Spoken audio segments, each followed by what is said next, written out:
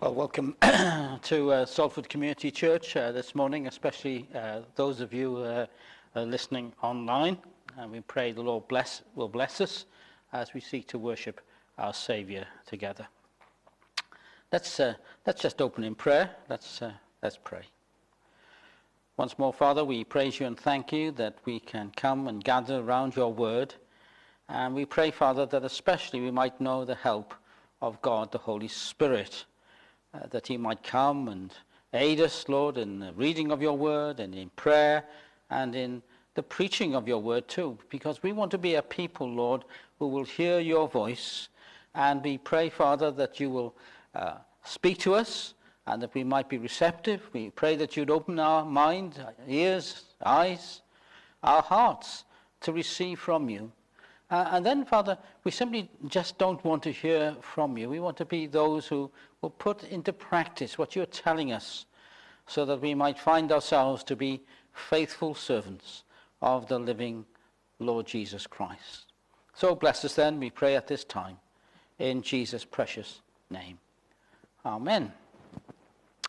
Well, we're, we're returning again to Mark chapter 4, and we're going to take a reading from verse uh, 26 uh, right to the end of the chapter. And uh, let's share God's word.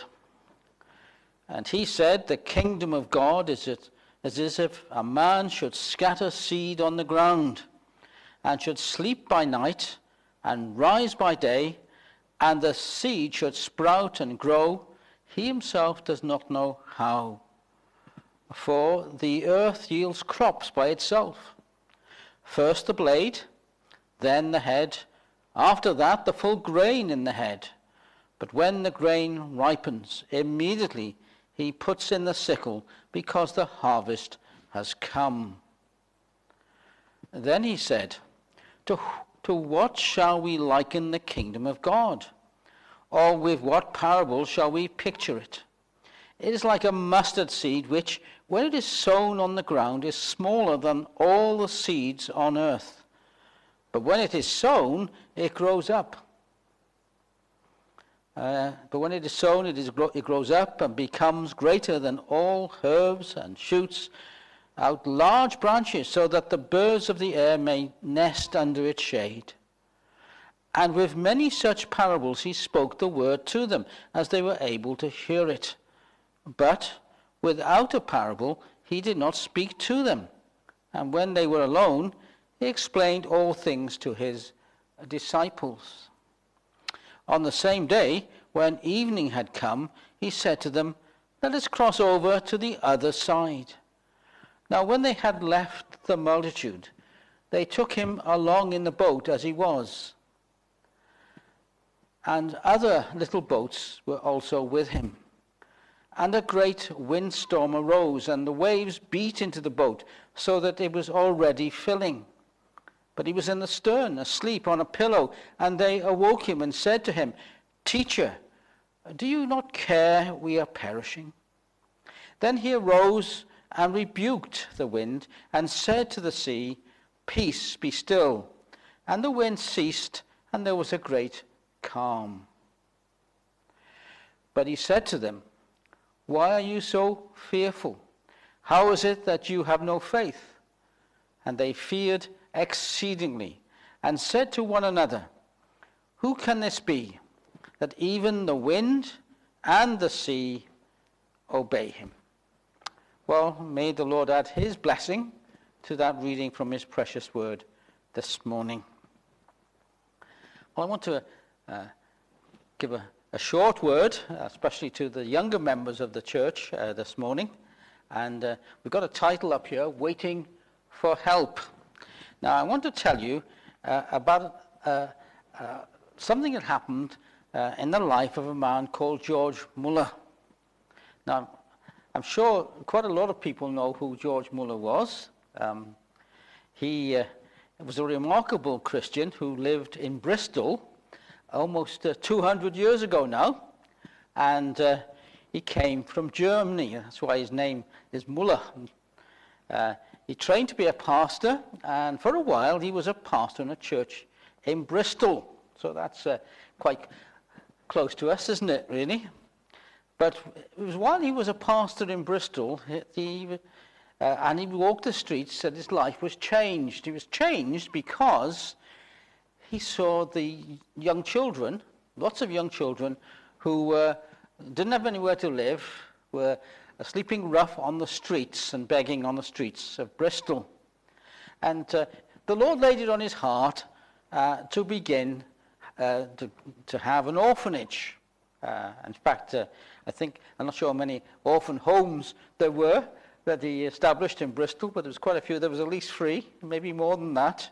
Uh, and he was famous for his orphanage, for, for gathering the young people, uh, young children off the streets of Bristol and uh, enabling them to, to have a, a good life, a better life in the orphanages that he had made. And it was all done by prayer. But something else that he's famous for was the fact that he was considered to be a great man of prayer. And uh, he never asked anyone for any money in order to purchase the homes or to provide the food uh, for the orphans or for the clothing and all the other things that he needed to run the orphanages. But what he used to do was that every year, I think it was at the end of the, uh, of, of the year, so it would be about the end of December, January, he would publish the kind of accounts and some of the stories that took place concerning the orphanages. And every year, uh, there was always sufficient funds for the orphanages uh, to continue. Uh, the, the, the, need, the needs were met. And uh, and uh, he never asked anybody for anything. Instead, he and those who were working with him uh, gathered together to pray about the needs of the orphanages, the needs of the orphans, and what was needful. Now, I want to tell you about one of those stories uh, uh, from this, and it's November 21st, and it's 1838. Now, that's a long, long time ago, isn't it? 21st of November, 1838. Uh, and this man, uh, George Muller, had gone up to the orphanages, the orphan homes, as he normally did, and uh, uh, saw what was going on. And uh, he writes on this particular occasion because he had a diary. And he wrote in this diary uh, that there was absolutely no funds left. Not even a half penny, he said. Not many of us would know what a half penny was, but there was not even a half penny for the food that was needed for the following day. But the people managed to have a, a what he described as a good meal with a, with a quantity of bread that they were able to, to fill their stomachs with. And so people were satisfied. But he gathered the, what he called the matrons of the houses. Now, I suppose they were the sort of people who were looking after the house. And he gathered them together, and together they, they prayed uh, about tomorrow, about the next day, and where, and where the money would come from, and where the food might come from, and all the other things that they needed, because they didn't have anything at all. So he prayed, and he writes in his diary that at one o'clock in the afternoon, having had this time of prayer, prayer with the matrons, he decided he was going to walk home. But he writes in his diary, he says, uh, feeling very old, he decided to go for a much longer walk. I suppose he decided he, he needed to have some exercise. So instead of going to his, his normal route home, he went on a, a much longer route in order to get a bit of exercise. And uh, when he got home, there was a man. Uh, well, a, a man met him about, he says, about 20 yards from his house. And uh, this man, having walked him to his house, this man gave him 10 pounds. Now, 10 pounds in 1838 was a lot of money. And the man said that he'd been there two or three times that day to give him this 10 pounds. Uh, and he was going to give up. And he was not going to bother. And he was just walking away from the house when he saw George Muller coming.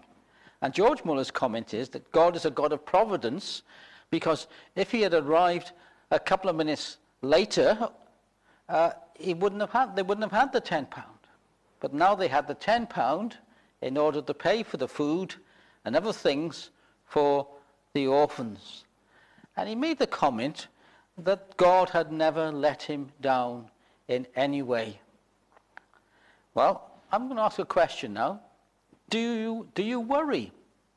Do you worry over things? Do you worry perhaps that uh, certain things that you want to happen, uh, that you believe should happen, are not going to happen? Do you, do you worry about the fact that God really loves you?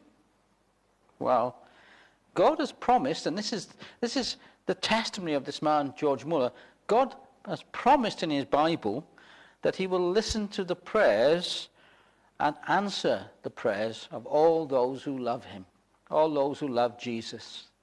And George Muller proved that in his life. And he, as a result, he's become very, a very famous Christian. You can read his biography, you can read his diaries if you want to as well. Uh, but uh, that's, that's what it says, the Bible. But God promises that uh, he will listen to all our prayers if we truly love the Lord Jesus. Now, if it wasn't for COVID uh, this morning uh, and that uh, pandemic, I would have got us to sing a hymn. But I'm going to read the verse of the hymn to you. It says this What a friend we have in Jesus, all our sins and grief to bear. What a privilege to carry everything to God in prayer. Oh, what peace we often forfeit. Oh, what needless pain we bear. All because we do not carry everything to God in prayer. And that was true of George Muller. when he had a problem, big problem, like he couldn't feed the orphans in the orphan homes, well, he brought it to the Lord in prayer. And the Lord answered him in, in a wonderful way. Well, we're going to uh, come before the Lord now in prayer. Let's pray. Father, we come before you and we thank you that uh, in Christ and because of Christ we can come to prayer. And that, Lord, as we've heard already uh, this morning, when we pray and, and when we love the Lord Jesus Christ and we do pray in the name of Jesus, then you hear our prayers and you have promised to answer our prayers.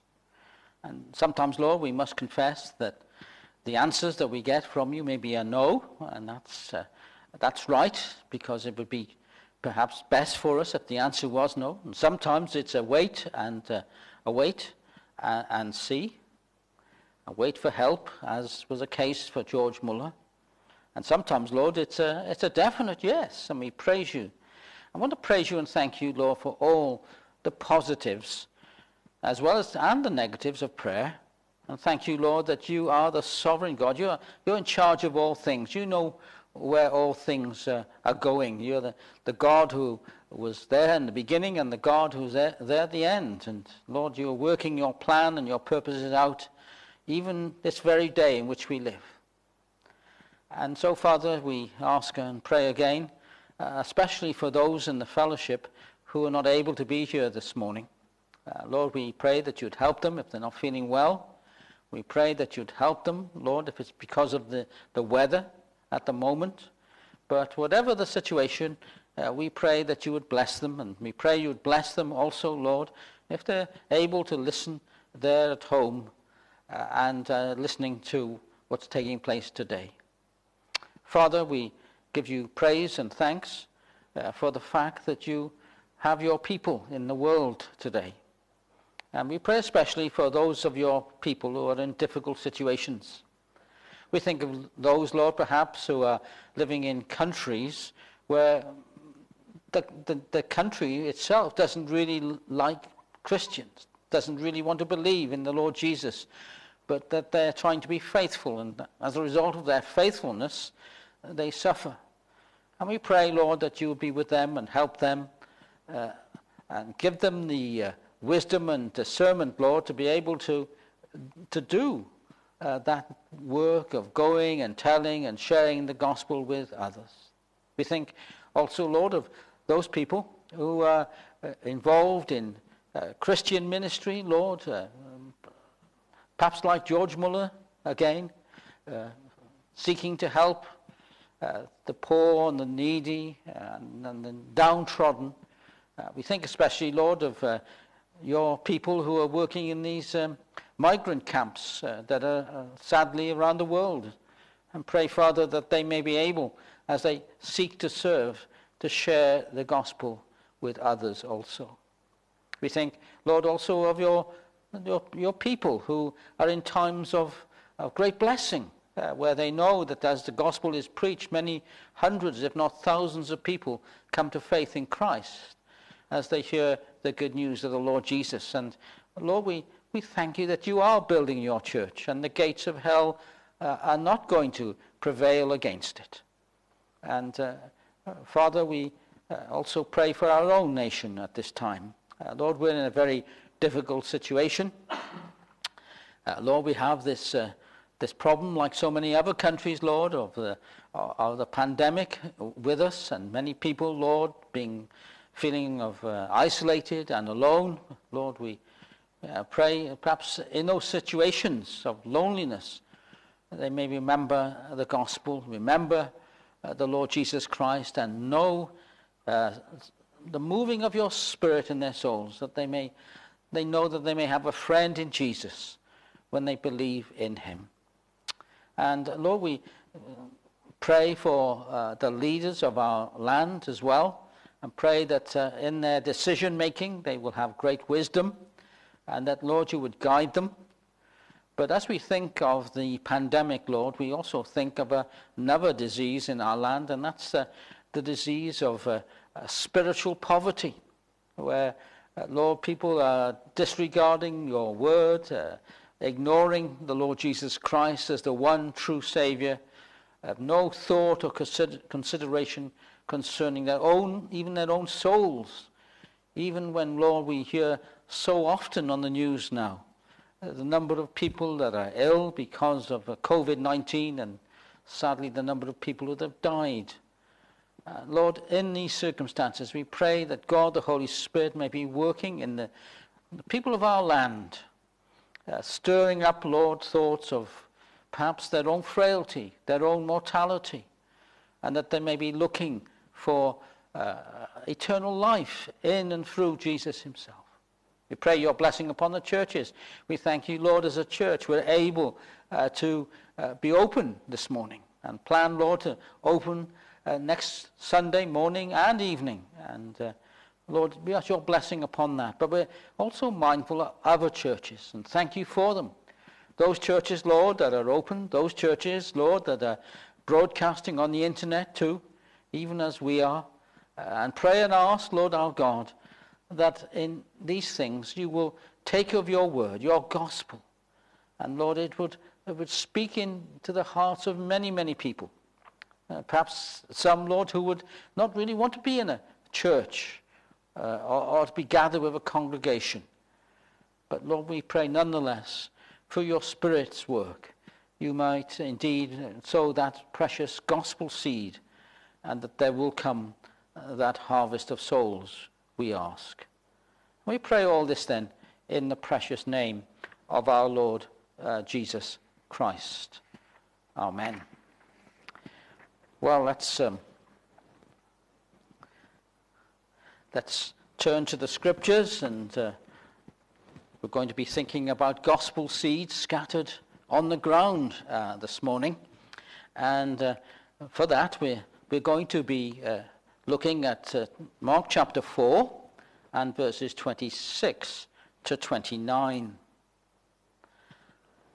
And uh, that's the, the parable there of the man who scattered seed on the ground. Let me read it to you once more, uh, just to remind ourselves.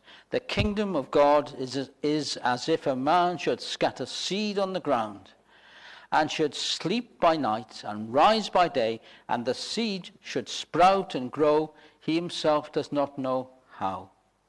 For the earth yields crops by itself. First the blade, then the head, after that the full grain in the head. But when the grain ripens, immediately he puts in the sickle because the harvest has come. This uh, parable, uh, strangely enough, I thought it was quite strange, uh, is the only, only place where it's found in the Gospels. In the four Gospels, uh, Mark and uh, verses 26 to 29 is the only place where this particular parable is found. But the Lord Jesus Christ spoke uh, with an, a number of parables that begin with a reference to the kingdom of God, just like this one. The kingdom of God is as, and there's a number of parables that start in, in that way. But what I want to say right at the very beginning for us is this. Um, the kingdom of God parables are, are not speaking of heaven, but rather of the kingdom of God on earth. The work, as in this case, the work of the gospel in a person's soul, or the spread of the gospel in the, in the world at large, which is the next parable on from this one. And it's, I want to just remind us that when we pray the Lord's Prayer, uh, and we come to those words, Thy kingdom come, Thy will be done, we are actually praying about the salvation of souls and the, the growth of the gospel in the world in which we live. So before we come to actually looking at this parable, uh, do we, I want to ask this question, do we pray for souls? Uh, do we pray for people who we know are not yet believers in the Lord Jesus Christ? And do we pray for the, the spread of the gospel into the world in which we live? And it's good to be reminded, I think, sometimes that we should be doing that. And that's something that Jesus told us that we should do. And it says, uh, Jesus said in Matthew 28 and verse 18 to 20, these last words before he was to be uh, taken up into glory, he says to his disciples these instructions All authority has been given to me in heaven and on earth. Go therefore and make disciples of all nations, baptizing them in the name of the Father and of the Son and of the Holy Spirit, teaching them to observe all things that I command you. And lo, I am with you always, even to the ends of the age. Well, Having said all that, let's go to this parable, uh, verses 26 to 29. The first thing I want to say, uh, uh, or the first point really, is this. The gospel seed is scattered on the ground, and it needs to be prepared. In a previous parable, which we saw some weeks ago, we, we had the parable of the soils, didn't we? And there were certain soils. There was uh, that rocky soil. There was that uh, soil of thorns and weeds. There was that hard soil. But there was one soil that was the good soil, wasn't it? And it's the, it's the good soil that we're talking about here. The ground to receive the gospel uh, need, the seeds need to be prepared. So the preparation of, of the ground is the work that the Holy Spirit does in a person's soul. But how does he do it? Well, he does so in many and in various ways. First of all, perhaps he might do so by means of some sorrow or some great disappointment that might be in somebody's life. Uh, telling them, if you like, that life is not so wonderful. You know, we're often told on the, uh, in adverts and on the television uh, that uh, life, is, life is amazing, and if you buy all these different products, it'll be even great, greater. But life's not like that, and sometimes life can be very sorrowful and lots and lots of problems and difficulties. And sometimes God will use those sorrows, those troubles, and those trials to say, say to the soul, life isn't so good, but there is a better life and it's in the Lord Jesus Christ. Or he might bring someone to so low uh, that uh, they, they've lost any confidence, any trust in themselves or in anybody else. And that their only hope becomes believing in God, and through believing in God, to believe in the Lord Jesus Christ. Others, it might be the realization that God really does exist. Because the world in which we live, this nation of ours especially, it seems to me that quite a lot of folk these days don't really believe that God is. And they keep getting told that, don't they, on all kinds of different television programs. But then sometimes God breaks into someone's life and shows that he really is there. He is the true God. Another is an awareness of sin in one's life, that you're not as nice or as good as you thought you were. And you come to that realization that you're not good enough uh, to go to heaven.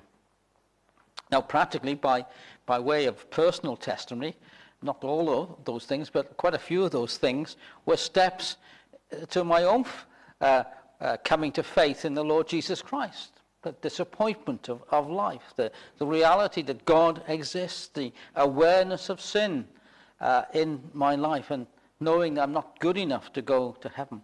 And all those things that God the Holy Spirit uses as steps to bring people to believe and to love in the Lord Jesus Christ. Well, let me bring you to a, a second point. A man scatters seed on the ground. And that's, uh, I want to read verse 26 there. Whoops. I'm having a few problems here, John. There we are. So there, verse 26.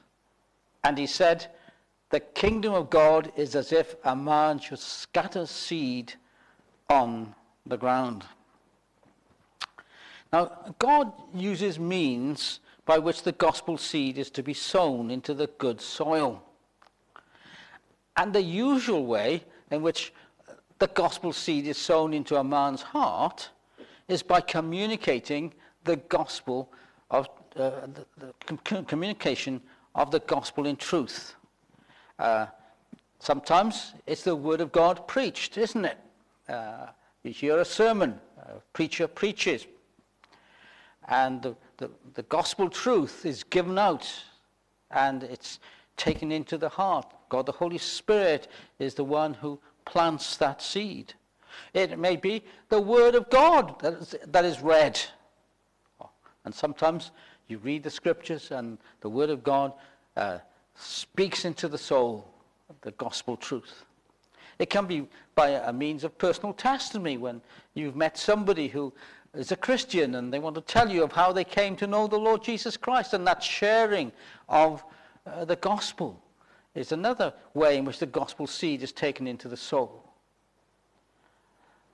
Sometimes, of course, it's by other means. It could be a, a book that has been read. It could be a CD of a sermon that was heard, perhaps. It could be a tract, a little leaflet. It could be a video. Uh, God uses various means. And uh, though I, as a preacher, I, I like to think of it, the usual means being the sermon and the preaching of God's word. But all those things are preparing the soil for the, the making it a good soil, so that as the man scatters the seed, the seed uh, falls onto the ground and it, it begins to germinate. I found this interesting quote from J.C. Ryle on this point. He says, uh, It is unnatural for soil to grow wheat by itself. It needs to prepare, be prepared because otherwise it can only grow weeds. And uh, that's, a, that's a gospel truth. That's a spiritual truth, isn't it? Uh, God prepares us to receive uh, that gospel seed. But one thing we should say is this, that once the gospel seed has been sown, once you've uh, uh, perhaps uh, you shared with somebody something of the gospel, well, we can do no more than that, can we? Uh, God, the Holy Spirit, has to do the work. He is the one who takes the gospel seed and puts it into a person's soul and causes it to germinate. All that we can do is to, to pray and to wait. And uh, in verse 27, we read these words. Uh, he's talking about the farmer or the sower of the seed. Uh, and, and he says, verse 27, I should sleep by night and rise by day, and the seed should sprout and grow. He himself does not know how. And that's true, isn't it? That's what a farmer, that's the farmer's experience. Okay, he might be able to talk about the biochemistry or the, the, the botany of it all, but really the reality is the seed is sown, it goes into the ground, and it grows.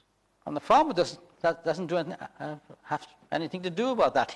he just sleeps and he waits, doesn't he? Well, that brings me on to the third one the work of the Spirit in the soul. Well, just as it seems uh, something of a mystery, and we've been talking a little bit of, about this mystery of how a seed is planted into the soil and the seed grows. And uh, if you were to look down to the, uh, the, uh, the other parable that comes on after, and we're going to look at that next time, we, we discover that that little seed can become a huge tree, which even the, the birds of the air can, can rest in. But the mystery is how it all happens, isn't it? And so it is with God the Holy Spirit. God the Holy Spirit, uh, when the gospel seed has been given, mysteriously is at work in the soul of a man or a woman, opening the heart to the truth of, of the gospel. And a man, or a woman for that matter, can seem so dead to spiritual things. The heart can seem to be so hardened uh, and you might say to yourself, well, how can such a, a soul live? How can such a, a hard heart become soft to the things of the gospel? And that becomes the greatest of all miracles, doesn't it? That the dead are alive. Spiritual life comes into the soul and becomes alive in Christ. Now, Paul had something to say about this. Ephesians chapter 2 and verse 1, and we're going to read verse 4 and 5 as well. Ephesians 2, verse 1. And you he made alive. He's writing to Christians, the church at Ephesus, and he says, You he made alive who were dead in trespasses and in sins. When he came to Ephesus, the people looked all dead. There was no spiritual life. But he preached the gospel. What happened? The gospel seed was sown onto the ground, and God the Holy Spirit caused it to live. And you he made alive who were dead in trespasses and sins. That's, how, that's, that's what they were, dead, he says. And then verse 4 and 5. But God, who is rich in mercy, because of his great love with which he loved us, even when we were dead in trespasses, made us alive together with Christ. And then he adds, by grace you have been saved. That's a reminder to us. This is all of God's doing. You know, we're just the instruments. If we know and love the Lord Jesus Christ and we share the gospel or we speak about the Lord Jesus Christ, we're just the instruments. It's God, the Holy Spirit, that takes of the gospel seed and gives life. Well, let me take you to our fourth point. The stages of godly growth in the soul stages of godly growth in the soul. And we need to go to Mark uh, chapter 4, verse 28. Let me read these words to you. Uh, For the earth yields crops by itself. First the blade, then the head, after that the full grain in the head. And then we'll read the next verse. But when the grain ripens, immediately he puts in the sickle, because the harvest has come. So, what are the four, what are the stages of godly growth in the soul? Well, the first is the blade. That's what it says in verse 28. Uh, for the earth yields crops by itself, first the blade. Now, the blade, as, uh, as the Bible is saying, telling here, is the first sign of life, uh, of the seed actually germinated and penetrating the soil. It's the first sight that you know that what you've planted is actually growing. I wonder how often and how long a farmer has to go uh, and keep looking at his uh, field that he has sown his, his wheat seed on before there's any sign of life. Perhaps if he's a, a Christian man, he might have prayed to God concerning it, the harvest, concerning the seed that was sown. And then he sees it, doesn't he? One day he goes down to this field. It seemed barren. It seemed as if it was just empty. And then one day he goes out to that field and he can see the little green shoots sticking up. He knows that the seed was good seed and it's in a good ground and it's going to have a good harvest.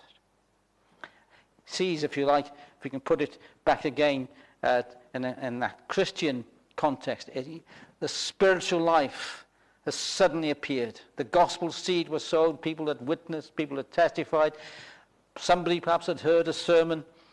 Nothing seemed to be happening.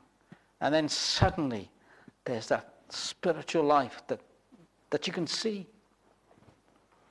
I well remember a time at university uh, there was a particular man who was uh, giving the, the Christians in the university a really hard time. He was full of all these difficult questions. There was always some argument that he was putting forward to some of the Christians uh, uh, about why should, uh, the gospel was wrong and why there was no God and all this sort of stuff. And I can remember a number of the Christians were getting really fed up with this particular guy. He seemed to be determined to have a, attack uh, the believers, uh, the Christians in the university. And then the summer holidays came. It was the end of the summer term. Uh, the summer holidays came. And then in the autumn, this man came back. And it was discovered that he had become a new creature in Christ Jesus.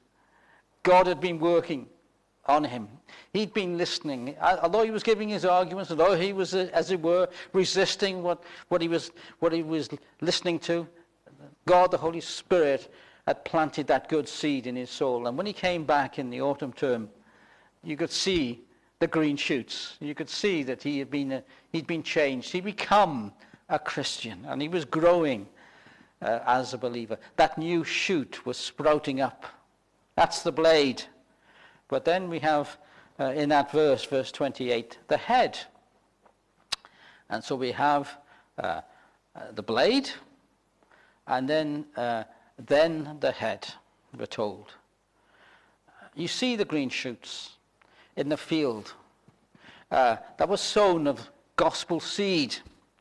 But how do you know that that, that sight that you're seeing is really a, a, a true gospel plant? Uh, that, that, the, that the person who now says that they believe in the Lord Jesus Christ is a true uh, Christian?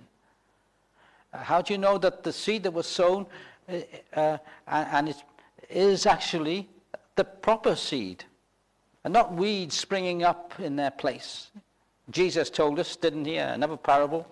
We won't go to this one yet, but uh, the parable of the wheat and the tares. You know, the enemy that came into the field and sowed tares, and so that the wheat and the tares grew up. How do you know the difference between a wheat and a tare when you've just seen the green shoot popping up on the ground? Well, the answer is this. You must wait and see what happens. Uh, you have to wait and see how the plant grows. And you will recognize the plant by its, by its roots.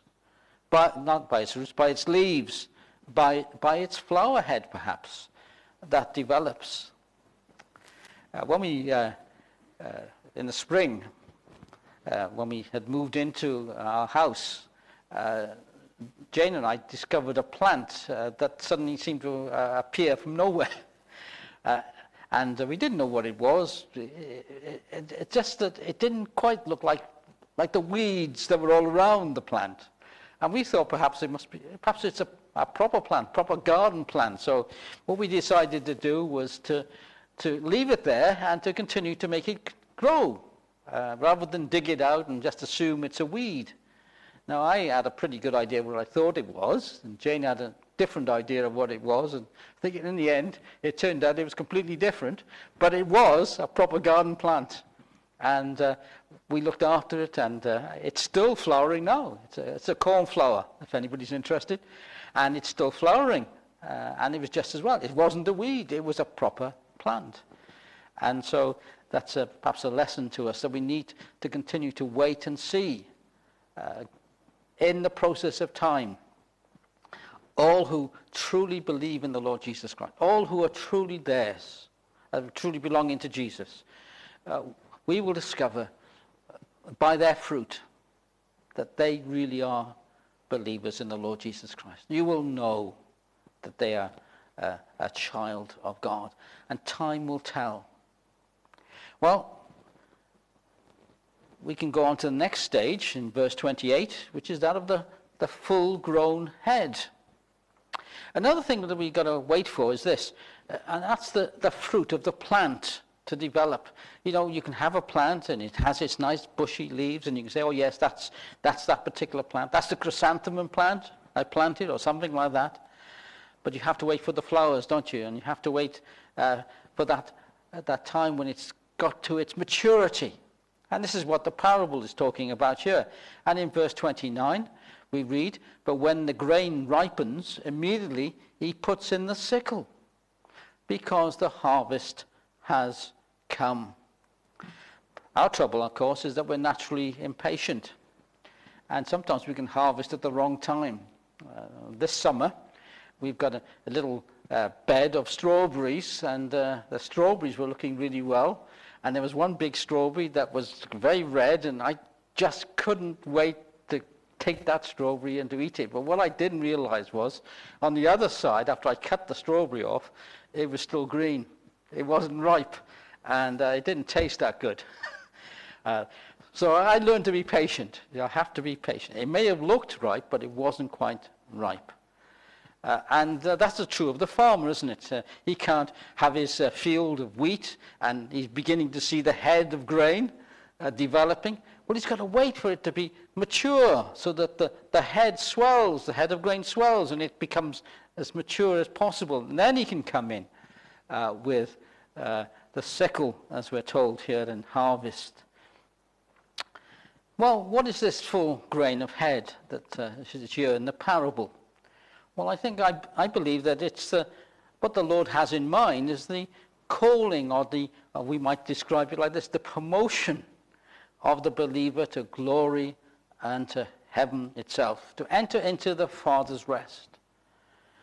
You know, a plant, and if we think of it in terms of Christians, uh, the plant in the field can have a hard time of it, can't it? Uh, the plants today in the garden are having a hard time of it, aren't they? It's pouring down with rain. They're probably getting flooded out. I know some of my pots are. I had to empty the water out this morning. Uh, there are dangers for the plants of heat and of cold, perhaps, of flood and wind. But the grain is safe when it's been harvested in, isn't it? And now we can apply that to a believer in the Lord Jesus Christ because it's tough at times to be a Christian. There are hard times for the believer. But we're always safe in Jesus, aren't we? That's the certainty of the scriptures. That if we, be, if we belong to Jesus, we've given our lives to the Lord Jesus Christ, we are Christians, then we are safe in Jesus. But once we're gathered into heaven, we're eternally saved, aren't we? That's the point. And as we come to a, a close, I picked up this uh, comment uh, from uh, Joni Eareckson Tada. Uh, I'll explain a little bit who she is in a moment, but it was from her Facebook. She's got a Facebook page called uh, Joni and Friends, and in this uh, Facebook page, Joni and, and Friends, she wrote this comment. Now, Joni uh, as a young, well, I, I, I, I, I still seem to think of her as a sort of 20-year-old. Uh, not so young, uh, Johnny now, um, she uh, was involved in a, a an accident uh, that caused her to be paralyzed. It was a diving accident and she was paralyzed and uh, she can, uh, from, the, from the neck down, I think, isn't it? And uh, and I remember reading the, the book, uh, her book that she wrote about how she was so angry with God. She was a Christian, but she got so angry with God that God had allowed this to happen to her. Well, that was the first few months where she's in hospital. But God had been dealing with her, and God had been speaking to her. And she's become a very remarkable Christian now. And she, she actually uh, speaks at conferences and goes around the world in her wheelchair, and they put her in co- at various conferences to speak about the Christian and suffering. In 200, uh, 210, 2010, she was diagnosed with cancer, and she wrote on her Facebook again about how God, how could God do this to me after all the suffering I've been through? But God spoke to her, God dealt with her, and she came to the grasp, uh, you know, that there was a purpose behind it, and she had an operation. Cancer was believed to be removed, well, the, the Facebook uh, writing that I read was this that uh, in 2018, uh, the cancer had come back. And uh, again, uh, she responded, but she responded in a much better way. This is, this is what she wrote on her Facebook when the doctor told her that the cancer had come back. When I received the unexpected news, I relaxed and smiled, knowing that my sovereign God loves me, loves me dearly, and holds me tightly in his hands. What good is it if we only trust the Lord when we understand his ways? That only guarantees a life filled with doubts. And then she added, Jesus is ecstasy beyond compare.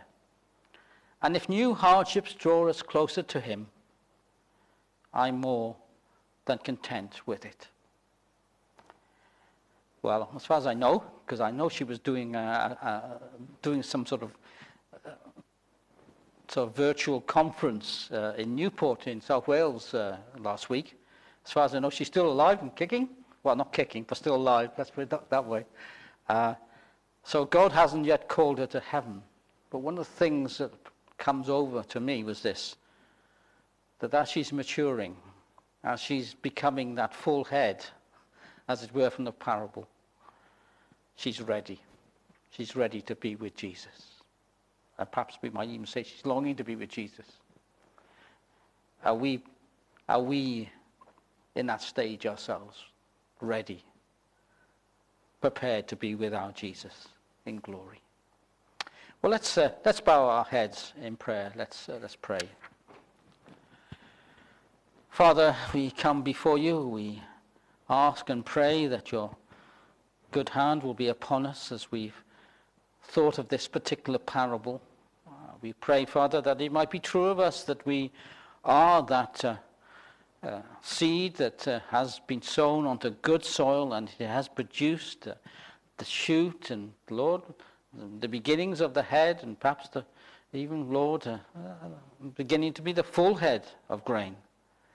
And we praise you and thank you that as we look back and as we think about these things, we want to thank you that for the gospel, uh, for the gospel that tells us that the Lord Jesus Christ is the only way uh, to, to you and uh, the only way to eternal life.